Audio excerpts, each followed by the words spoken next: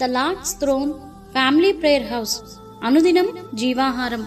అంశం పరిశుద్ధతను పాడు చేసేది ఏమిటి? క్రైస్తవులమని పిలిపించుకుంటున్న మనము ఖచ్చితంగా పరిశుద్ధ జీవితం జీవించే వారంగా ఉండాలనేది దేవుని చిత్తమై ఉన్నదని మనం నేర్చుకున్నాం. అలాగే జారత్వమును కామాభిలాషను విడిచిపెట్టాలన్నది దేవుని చిత్తమై ఉన్నదని కూడా నేర్చుకున్నాం.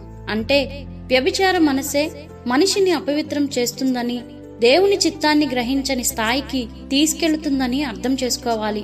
అయితే దేవుని చిత్తం నుండి మనల్ని దూరం చేసే ఈ లక్షణాలను ఏ విధంగా దూరం చేసుకోవాలి? ఎలాగంటే మొదటిగా మనిషిని అపవిత్రపరిచే ఈ వ్యభిచార మనసు శరీరాన్ని మలినపరిచే ఈ ఆలోచనలు ఎలా వస్తున్నాయో తెలుసుకుంటే అప్పుడు వాటిని రాకుండా చేసుకునే అవకాశం ఉంది. అంతే కదా అయితే ఈ ఆలోచనలు ఏ విధంగా మనిషిలోకి ప్రవేశిస్తాయో తెలుసుకునే ప్రయత్నం చేద్దాం.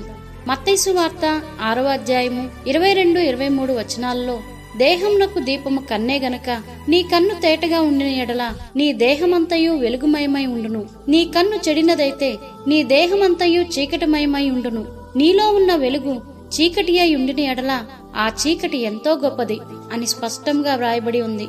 అంటే మన దేహమంతా వెలుగుమయమై ఉండాలంటే మన జీవితమంతా పవిత్రంగా పరిశుద్ధంగా ఉండాలంటే మన బ్రతుకులు చీకటిమయమై ఉండకూడదంటే అది మన కన్ను మీద ఆధారపడి ఉంటుందని దేవుని వాక్యంలో రాయబడి ఉంది. అంటే మనము చూసే చూపు మీద మన పరిశుద్ధ జీవితం ఆధారపడి ఉంటుందని అర్థమవుతుంది.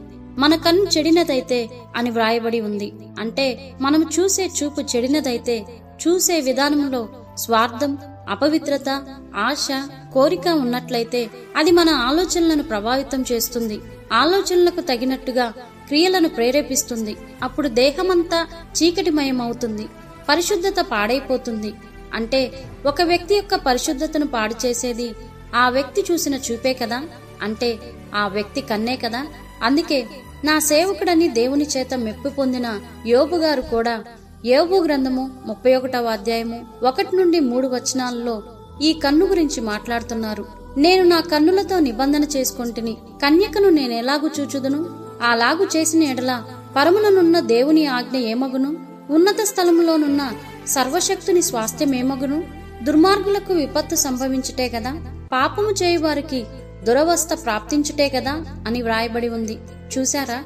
కన్యకలను పరాయి స్త్రీలను చూడకూడదని యోబు గారు తన కన్నులతో నిబంధన పెట్టుకున్నాడట.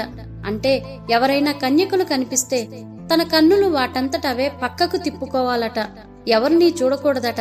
ఇది కదండి పరిశుద్ధతను కాపాడుకోవటం అంటే అందుకే దేవుడే యోబు గారు గురించి అపవాది ఎదుట ఎంతో గర్వపడ్డాడు.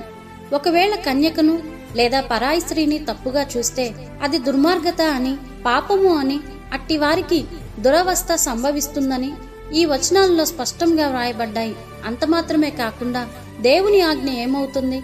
ఉన్నత స్థలంలో నివసించే సర్వశక్తుని ప్రజలమని చెప్పుకుంటున్న వారు ఏమవుతారు? దేవునికి అవమానం కాదా? అని ఈ వచనాలు మనల్ని గట్టిగానే హెచ్చరిస్తున్నాయి కదా.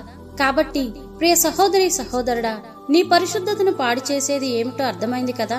కాబట్టి నీ దేహమును నీ జీవితమును పరిశుద్ధంగా ఉండేలా చేసుకోవాలంటే నీ కన్ను తేటగా ఉండేలా చూసుకోవాలి. ఈ సంవత్సరం మనం కూడా యోబుగారులా అభ్యాసం చేయవలసిన విషయం మన కన్నుతో నిబంధన చేసుకోవడం. పరాయి స్త్రీని పరాయి పురుషుణ్ణి మనది కానిది ఏదైనా సరే దాన్ని ఆశించకుండా జీవిద్దాం. లేకపోతే మనకు విపత్తు సంభవించే ప్రమాదముందని గుర్తిద్దాం. దురవస్థ ప్రాప్తించక ముందే దేవుని ఆజ్ఞను దేవుని చిత్తాన్ని తెలుసుకొని పరిశుద్ధమైన జీవితాన్ని జీవిద్దాం. దేవుడు గర్వపడేలా చేద్దాం. అట్టి కృప దేవుడు నీకు నాకు మనకు అనుగ్రహించునుగాక. Amen amen amen.